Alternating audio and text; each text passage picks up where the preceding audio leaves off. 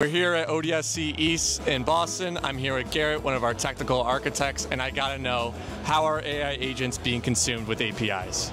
AI agents are consuming APIs the same way that humans are.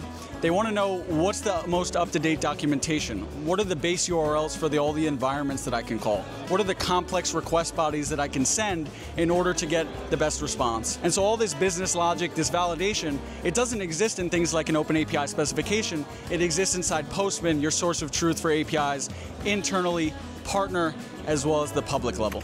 Hey, I'm Aaron, and uh, Garrett, I've got another question for you. Uh, where can we find these APIs? So your specifications, collections, and complex workflows will all live on the Postman platform. But when you want to interact with external services, you go to the Postman Public API Network. Companies like Microsoft, Salesforce, they publish collections where millions of developers can immediately interact with their services. All right, thanks, Garrett. Final question of the day. We're in Boston. I gotta know hot or cold lobster roll? Personally, I like hot, but why don't we ask the AI protocol in Postman?